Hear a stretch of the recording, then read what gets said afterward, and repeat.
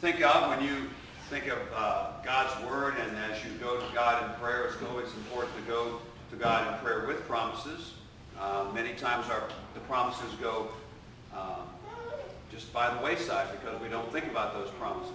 So, if you had to think about a promise that you'd like to share with the, the other group in the group this morning, what promises come to mind right off the bat? I'll just relate something that didn't really happen to me, but I performed transportation for a Cambodian lady who doesn't have to drive on the interstate, and I take her to her daughter's in uh, Orlando. Okay, well, I took her this past Thursday. She seemed fine. Well, I received a phone call yesterday, and she's ill. All right, she's actually ill. And they took her to the doctor, and they don't know what her problem is, but she aches, she can hardly do it, felt like she was paralyzed. Okay, and in my uh, conversation with her, okay, uh, I try to be an encourager. Okay, that's, that's part of what I try to do. And in the conversation, we had to discuss how blessed it was that she, not that she was so much ill, but that she had a daughter, okay, because she was with cancer. And I related that to the situation we have, and we all have, woe is me kind of dealings. We have to remember that God's will will rule, and that's happening for a reason, and it's for His purpose. And so I thought, when I shared that with her, uh, even though she was aching and taking ibuprofen and stuff like that, uh, I could show on the phone that her spirits would be lifted with the idea of God's promise. Tell me a promise that goes with that truth that you just told. Give me a give me a promise from God's word that would go with that. All, all things will work for the good for those who That's His promise. That's a good quotation. Where's that found, Sam? I'll give you a dollar if you can tell me where it's found. You what? I'll give you a dollar if you can tell me where that's found. What song? Where it's found, what ver, what verse, uh, Did you say those things? It's Romans chapter 8 and verse 28. So, Sam, Mark, right? Yeah. Romans 8, 28. Sam, get surprised for that. Who's got another one? Mary. Well, the one I use every morning before I start reading the Bible is asking God for wisdom, because He promises wisdom if we ask for it. And where's that found, Mary? It's in James. Yeah, James 1, James one. 5 through 8. five. Yep. I don't know the reference, but uh, when, when Sam was talking, I thought, in the world you will have tribulation, but take heart, I have overcome the world. Ah. John 16, 33, right? About, uh, he will never leave us. There's nothing, no power that can pluck us out of his hand. Uh, that's actually two verses you did. So, he'll never leave us or forsake us, that we may boldly say the Lord is our helper. Hebrews and Romans eight, right? Uh, yeah, you, the first one you were talking about is Hebrews 13, 5 and 6. And uh, the second one's Romans 8. Uh, Look it up. what? 38, 39. But I think what you had reference to was John 10. Um, Well, Romans 8, yeah, you're, yeah, you're right, 38, 39, that's the one that always comes to mind. yeah. Okay, that's good. These are good promises. Anybody else have any? Philippians one six. Whoa! I love it. It's here on that six. Can you close that? And I am sure of this, that you can, he who began to work in you will bring to completion at the day of Jesus Christ. Ah, yes. What Very she good. say? What did she say? She said Philippians chapter 1 and verse 6, which happens to be the focal point of my sermon this morning. Which said what? I can quote it in King James. She, she quoted in the ESV. But, uh, being confident of this very thing, that he who has begun a good work in you will perform it until the day of Jesus Christ. So God's working in you. He's the one that started it, is going to complete it. That's what it's all about. Thank you, Rebecca. She's, pre- she's preparing for the sermon this morning. Anyone else have a promise from God's Word? Psalm eighty-six Well, fifteen. Hold on. Hold on, Sam. That you, Lord, are God of compassion and mercy, slow to get angry, and filled with unfailing love and faithfulness. All right, Psalm uh, 86 and verse 15. All right? Who else? Well, this is an aside, but you convicted me. Okay. I hope I didn't convict you. about what scripture was, because I'm, I'm an underliner. Okay, when I read the Bible, if something impresses me, et cetera, I underline it. And Romans eight twenty-eight is underlined. And it's Okay. made up, Okay, and you convicted me in the sense, if I think it's important enough to underline. Yeah, it goes, because then it's always there. You Now, can think, go through my whole Bible and look at all the things I underline, like, uh, Romans eight twenty-four. For in hope we have been saved, but hope that is seen is not hope. Well, why does one hope for what is seen? very good. But I, I, oh, it's impressive, but I can't remember. Here's a cool one. Uh, this is Peter's writing a book of the Bible, and he's considering a promise of another book of the Bible. The promise within a promise. Kind of interesting. Anyway, uh, Peter says, "But according to his promise, we are waiting for new heavens and new earth in which righteousness dwells." And that's from Isaiah 66, probably is where. Yeah. So what was the quotation of Peter? It's uh, 2 Peter 3:13. Yeah, The new heavens and the new earth. very good. What else? Anybody else? It's not, not. it's- Hold on, hold on, Blair. I Uh, have a promise from Rudy Kamori if we ask about it. oh, yes? Can you quote it for me? Philippians four, six through seven, be anxious for nothing but through supplication and prayer with thanksgiving. Make your request made with, made known to God and the peace of God, which passes all understanding, will guard your hearts and minds in Christ Jesus. I knew I could count on you, Bruce. All right, what were you going to say, Blair? Um, uh, uh, John seventeen, the high priestly prayer, the idea that Christ prayed for us Yeah. is, is just. And we know it's for us because he said, not only do I pray for these, but also those who would believe on you through them. Exactly. And that's us. All right? I won't forget that one because quite an- obviously I get anxious and uptight about things from time to time. and That's my. Your go-to verse. Very that. good. All right, before we dig into Mark chapter 10, everybody turn in your Bibles to Jeremiah 33, 3. Old JR used to say this is God's telephone number. Jeremiah 33, 3. If you don't know this one, I would encourage you to memorize it. It is a, an encouragement to pray. Jeremiah 33, 3. You know it already, Rebecca? It's I'll underlined. into it anyway. Oh. Uh, I knew I could count on you. She could probably quote it right now. Jeremiah 33, 3. It's underlined, Bob. It's an underline. Well, there, then memorize it. Here we go. Call for me, and I will answer you, and I will tell you great and mighty things which you do not know. All right, that's, that is a promise from God. You call, I'll answer, and I'm going to show you more than you could ever ask or think. Okay, that's God saying that. Jeremiah just wrote it as God was speaking to him. So if you need an encouragement to pray, it's Jeremiah 33, verse 3. All right, good on the promises. We're going to talk about the promise of God today. If turn in your Bibles or follow on the outline, Mark chapter 10.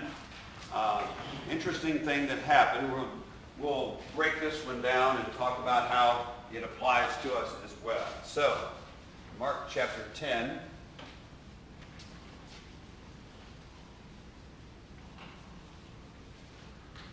All right, let's just read the passage, Mark 10, verses 28 through 34.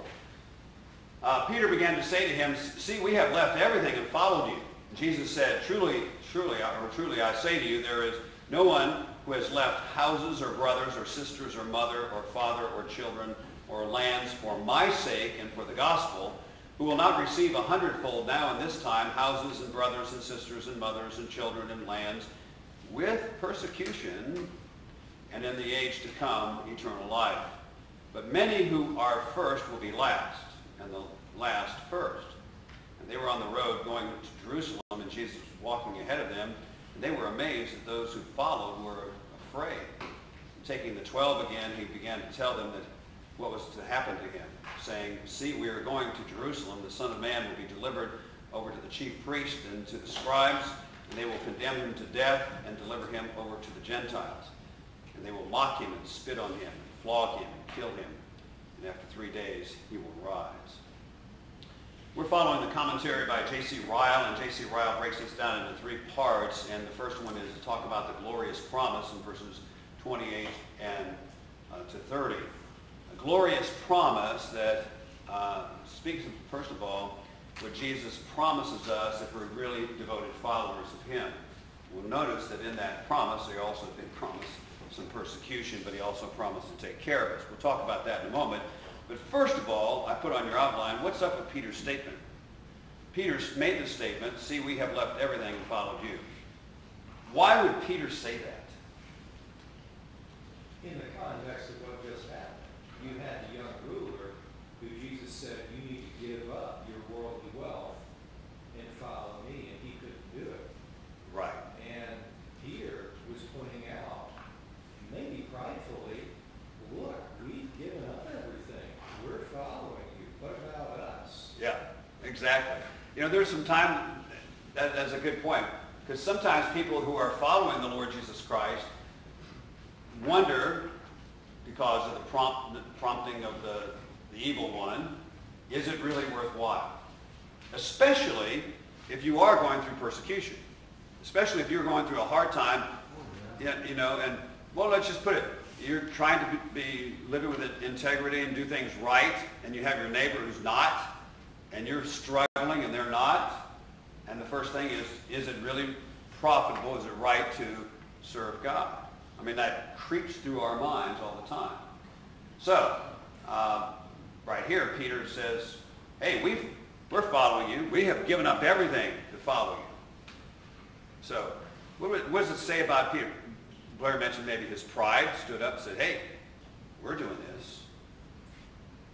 I think he might have been questioning a little bit about, uh, you know, maybe what, we're not, you know, they, they probably, as we've talked about, they were probably looking for Jesus to set up an earthly kingdom then, and they were going to rule and reign with him and have special places. You know, John and James, their mother even came and said they, they would like the right hand and the left hand, you know, when Jesus set up his kingdom. So the question is, uh, how, what, how, how do we identify with Peter? What is Peter really saying? They say there's a lot of people looking for an immediate reward. They're looking for something right now. Mhm. Not- They don't, Yeah, materially. They don't want something materially right now. And, and probably that's the appeal of the prosperity gospel. Okay? Um, I was talking to Camilo, uh, who's now coming to our church. He's from Colombia, and he was saying that in Colombia, the vast majority of preaching going on is prosperity gospel, which is true.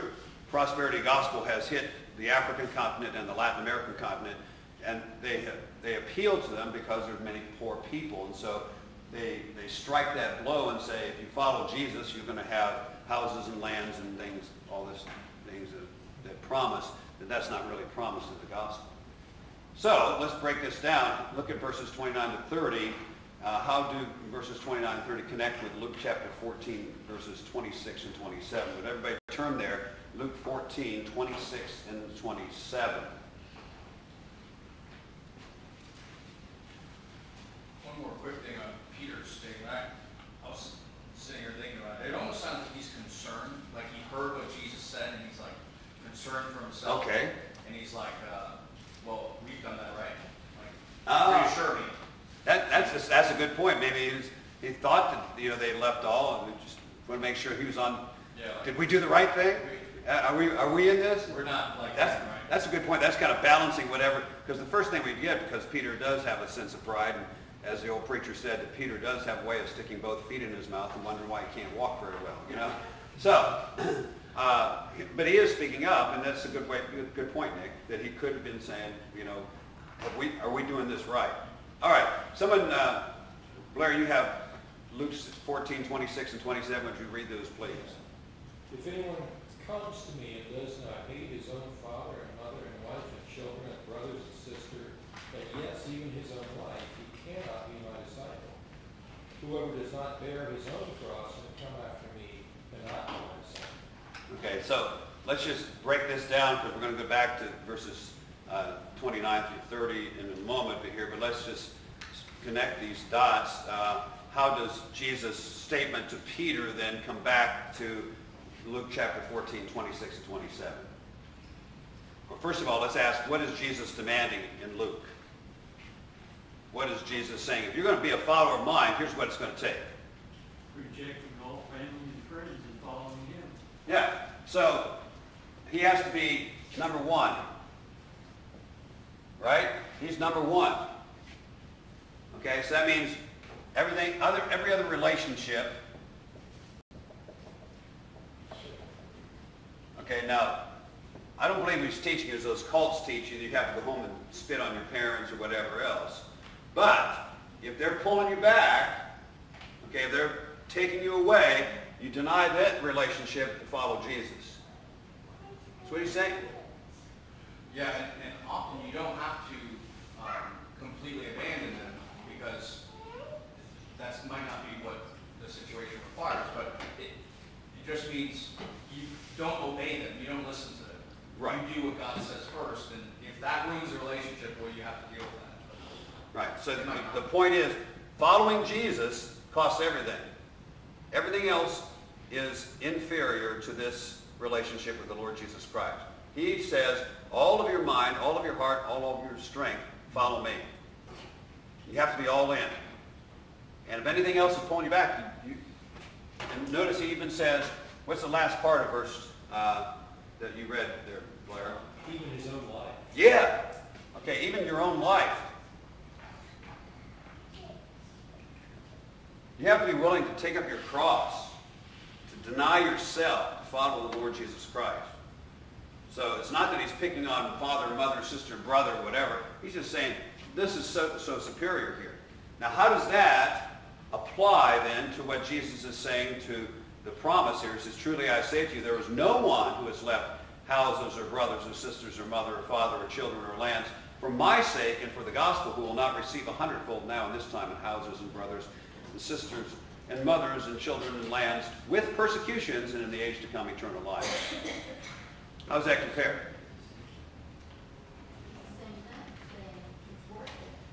Yeah, exactly. This is worth it. I'm demanding this from you, but I want to assure you that it is worth it. It reminds me of when Jesus is given you shall receive. Well, that's, you know, can apply to your funds, but also to give your life receive a hundredfold. Yeah.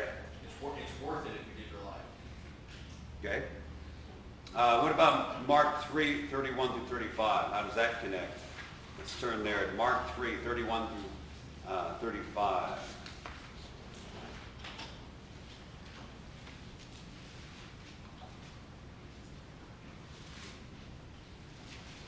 Someone has it.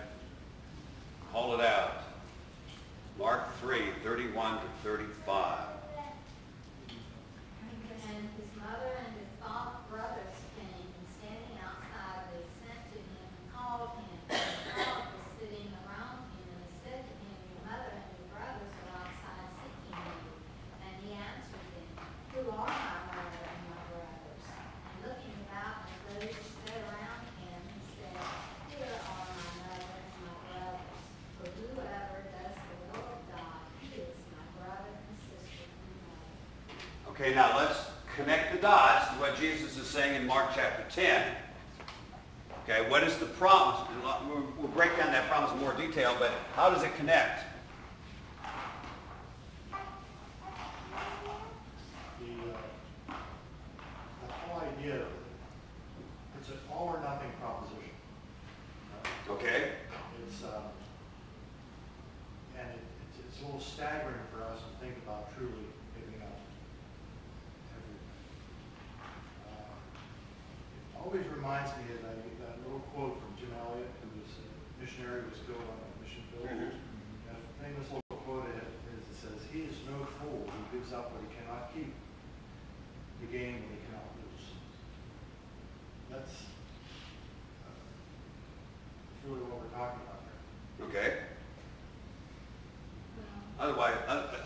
let's keep connected.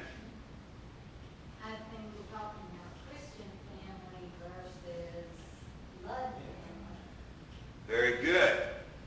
The, the ties in Christ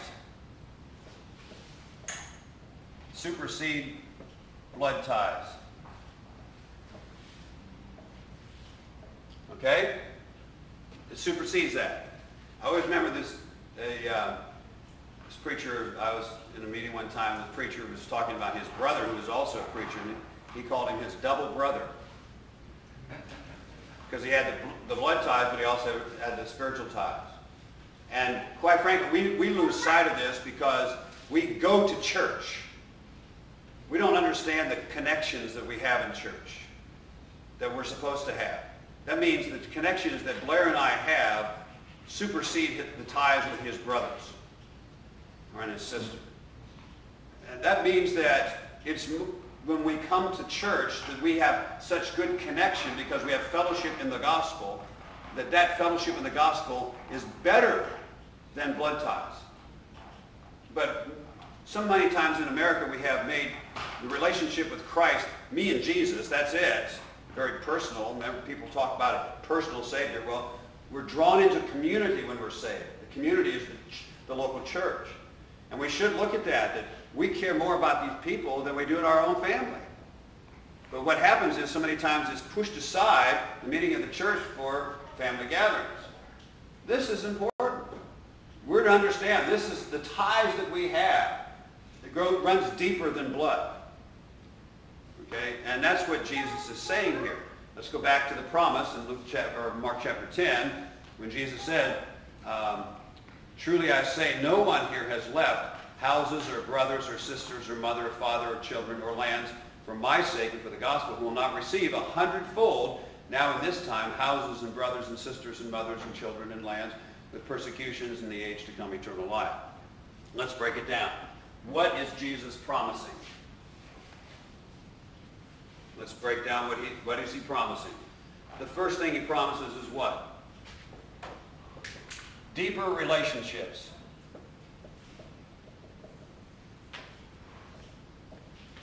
Okay? Deeper relationships. Now, I just say it, I was first ordained in ministry in 1983, and we went to uh, serve a little church in Jacksonville, Florida from Cincinnati. We moved from Cincinnati, and uh, um, all of a sudden, you know, it's like we were losing, we were away from our kinfolks and, every, and even our friends back in Cincinnati, and now we're in a new place. And we've looked, we, we have served churches, I've served churches in Jacksonville, Florida, uh, Dalark, Arkansas, outside of Arkadelphia. I've served churches in Jackson, Mississippi, and, and uh, wherever we have gone, we've connected with people. And so those people, the relationships we have with believers all over the country are deeper than our own blood relationships. God has provided for us. When God calls us to go somewhere, no matter where we go, the first place we need to connect is the church. The first place we need, we need that stability in the church. We need that relationship. And the Bible tells us they need you. It's two-way street. We're part of a body. He doesn't say that, you know, it's interesting. In 1 Corinthians chapter 12, he talks about the fact that we're part of a body, right? And the, so we're members all one another. That's not, we don't find that in a family, in a relationship brothers and sisters and you know, so here we had, this is a very important, rela- so he promises relationship. What else in that promise does he give to us or tell us we're going to have? And lands with persecution. Well, first, yeah, houses and lands, okay? What does that speak of? He's going to take care of our needs, right? God promised to take care of our needs. When we're focused on giving to him everything, he's going to take care of our needs. Sometimes we hold back because we're afraid he's not going to provide for us. And that's why most people that don't give in the church don't give because they're afraid to act in faith and give, knowing that God's promised to give back. God's promised to take care of your needs when we act in faith. Isn't that why? You know, so they, they trust their money more than God is what is that happens. But God promises to take care of our needs. You know, um, Bob, it, it brings to mind the book of Acts in the early church. okay, um, how they contributed, gave to the church, and through that, their needs were taken care of. Yeah. They, they were a family, uh, taking care of one another. There's a promise about that in the book of Philippians. Does anybody know that promise? Because Paul commends the church at Philippi, which is also known in 2 Corinthians as the church of Macedonia. Okay? He commends them for giving, and then he, he commends them in the book of Philippians chapter 4. He talks about the fact that they, they dug up their funds and sent it by Epaphroditus to him. And then he makes this quotation. This is a wonderful promise of God. My Lord will supply all your needs according to his riches and glory. Is that it? By Christ Jesus. That's exactly right. Philippians 4.19. So if you need a good scripture to, to go on, okay, that really encourage you, Philippians 4.19 is that scripture. All right? So, let's, let's go on here. The- the- the- God has provi- provi- uh, promoted that. Yes, sir. Um, Okay. Sorry, I did not mean to interrupt you, I just have my voice. Yeah, if you, if you want to have a seat, we're in the middle of class right now. Um, Was there any way, I, I'm, I'm limited on time frame, can I talk to you real quick? Just take two minutes, I'm sorry. I would not do this if I didn't want to do that. I can't really do anything without another deacon. Can I announce what the situation is real quick? I have a two-year-old, I wouldn't. It's a very small issue. Bruce, you want to join him? Thank you. Okay. So, uh, what else does Jesus promise there in that passage? Deeper relationship, taking care of our needs, okay? And what else? There's two other things. He promises that we will have persecution. Isn't that interesting? Because most, you don't hear that from prosperity gospel preachers, do you?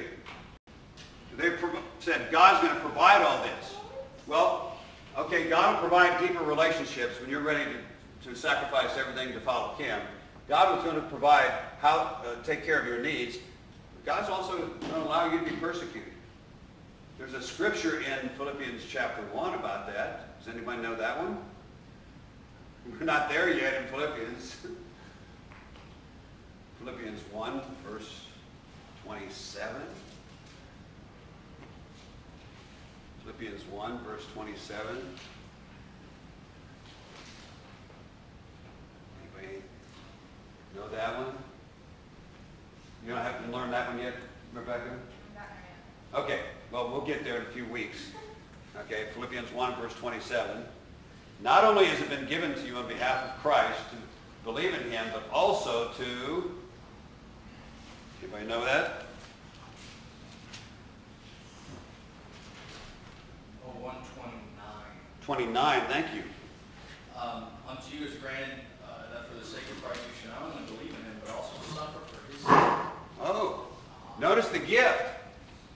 It's a gift, right? What's, what's twofold gift? Not only one believing, you're believing God is a gift. Is there another scripture like that anybody knows?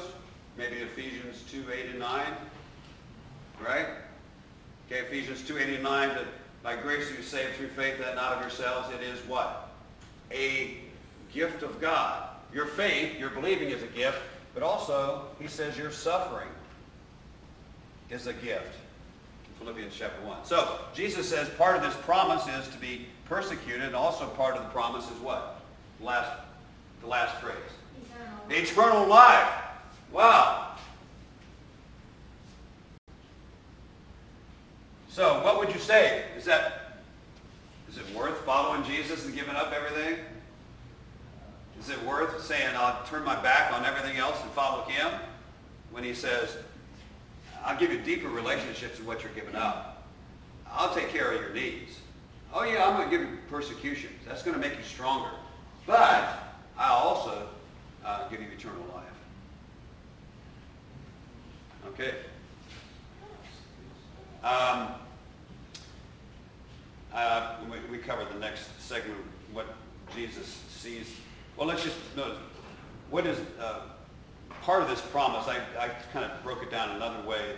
Part of this promise, that next thing on your outline, uh, what is the promise all about? It's the very fact that Jesus sees and he rewards. The Lord Jesus Christ sees and rewards. There's several scriptures here that I'd like to just hit with, but let's just look at Matthew chapter 10, verse 42.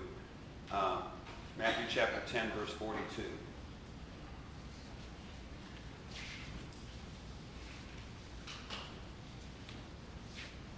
You never have to wonder whether the Lord Jesus Christ takes notice of the fact that you're giving up to follow, which you're giving up to follow.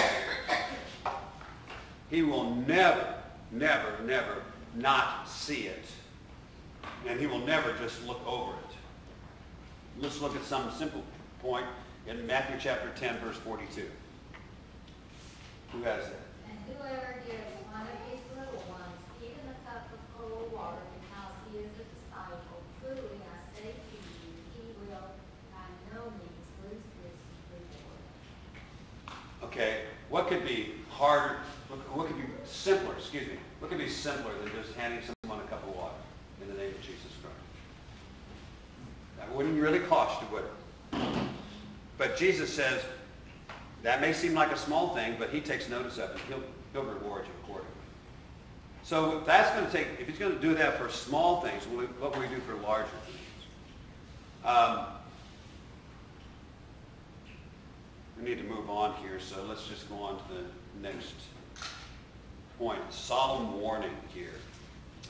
Verses 31 and 32 of uh, Mark chapter 10. Uh, J.C. Ryle called this next point a very important point. It's a solemn warning. Notice the words are, for many who are first will be last, and, and the last first, and they who were on the, and they were on the road to Jerusalem, Jesus was walking ahead of them. They were amazed, um, and those who followed him were afraid.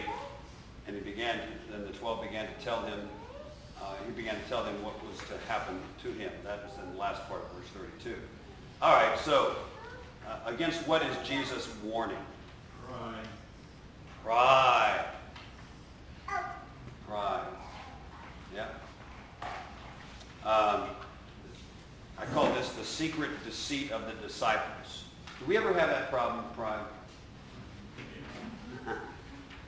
How does it show up? How does pride show up? Probably boasting, I would guess. Okay, well, let's just write that down. Boasting. Give me an example of how that would show up in the church, boasting. Oh, I did this for somebody. They- Oh, okay. Yeah, you make it known that you, what you did in secret, but you, you know, let, let it be known. Very good. Teach Sunday school. What's that? Teach Sunday school? That's, that's a way of pride to teach Sunday school? What you said, books? Oh, oh, if you were boast, oh, you were teaching, oh, you were, oh, going around telling people, I teach Sunday school. Okay. I'm sacrificing, I teach Sunday school. Well, I taught Sunday school when I was younger, so I don't need to be doing that now. I'm a lady. I've heard that. Yeah, that happens. All right. How else do people boast or express pride in churches? When they, when they talk about them fasting, no, I fasted for, Yeah. a good. Now, never, never tell anybody that you're fasting when you're fasting.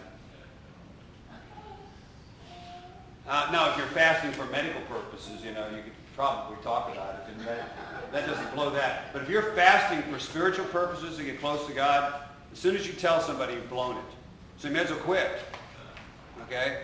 Um, so it's interesting if you listen to my podcast, my friend JT and I do the podcast together. And one day he just said, you know, before we started, he says, I'm really worn, run down today. And I said, oh yeah, what's going on? He says, I can't tell you. I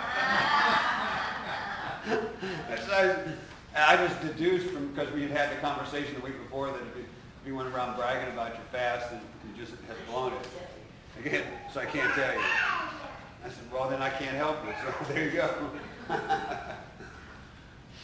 thing I think sometimes the pride comes out as feeling like we have to uh, accomplish a certain amount or uh, live at a certain level uh, as,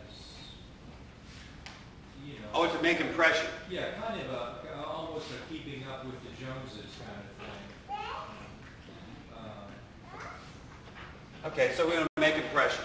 Yeah, So and certainly that's not, you know, looking nice to come to church, but if you were looking nice to say, I want to look nice to Yeah. make sure that, you know, Nick doesn't look nicer than me today. It can also be when you do a task or or something for the uh, church, like, uh, you came in and you painted that wall right there.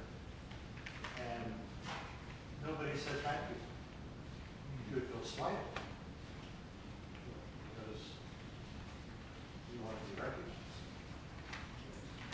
Yeah, You shouldn't have to say thank you. exactly. Yeah, so Paul says, work heartily as to the Lord. yeah. If you're working for the Lord, you wouldn't, you wouldn't care as much if, uh, Well, you know, he takes notice. You know, he takes notice, even, even nobody else does. because, you know, he's watching. Yeah, very good. So the disciples always had this problem that, you know, I'll I'll give you the reference, Mark 9, 33 to 37, and Mark 10, 35 to 40, that, that, that um, both times the disciples had this secret desire to be number one. Okay, and the disciples were, were talking among themselves about that. They often were, uh, I'm sure we have so, just a couple of accounts of it, but it, it probably was rampant among them. And you know why? I mean, you get around a bunch of guys, what has happened? It's always trying to establish pec order. And it's competition. You know, it's like um, uh, yesterday I was with a group of guys. We went over to San Antonio to ride hills. And it's amazing how when we were riding the hills that, you know, we'd all come up the hill together. But the guys that really wanted to show off sprinted up the hill. You know, it's almost like they were going for the king of the mountain, yeah? Yeah. I have, I have to admit that I tried to do that on the first couple of hills, and afterwards I was so worn out. I said that was a dumb thing to do. I just should have paced myself the whole time. I found myself in the trap, and that's what happens. We, we do. We push our own agendas. We get mad when people aren't following our agenda, or somebody doesn't do something like we think that uh, um, they should be doing. All right. The question is, why does this bother Jesus so much? Why does our expression of pride or boasting, why does that really get under his skin? Because you'll notice he, he it got under his skin with the Pharisees and even his own disciples. He couldn't stand it when they were expressing such pride. Why do you think that is? You know, a level of frustration. Humility, What's that? humility. That God, well, Jesus was the most humble person you think of. Okay. What were you saying, Sam? And you could be a level of frustration. He's trying his very best to to explain and have people understand. And they're just stoneheads. They don't, they don't get it. Well, so are we. Yeah, we're stoneheads too. Well, yeah, we. What were you saying, Bruce? Well, I was gonna say, knowing human nature is gonna start creating envy among them and creating, you know, division and splits because they're gonna start getting angry with each other because one of, them, you know, thinks he's better than the rest of them. Right. Now, it's interesting that Jesus was, was teaching oneness of the disciples, right? And he, he showed them what true humility was like. I mean, even as he went to the cross. Turn to Philippians chapter 2, by the way. We're going to read verses 1 through 5. Um, but Jesus was teaching this, and he was showing, showing them this, and they were so caught up in their own agendas that they weren't really listening because they were really pushing themselves. It's kind of like catch twenty-two. Because we can't believe unless we've been chosen to believe, unless the Spirit instructs us. And so he's, he's teaching all these people, and he's trying to share with them, but in reality, unless they've been touched, Right, they wouldn't get it, but he's also putting down the, the pride of the Pharisees, and quite frankly, in this case, he's putting down the pride of the disciples who had been touched by the Spirit of God and followed Jesus, you know. So Jesus was straightening them out. So look at Philippians chapter 2, verses 1 through 5. Somebody read that, please.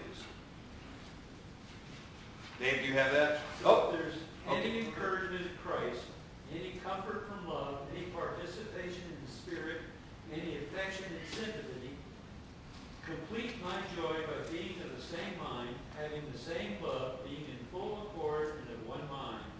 Do nothing from rivalry or conceit, but in humility count others more significant than yourselves.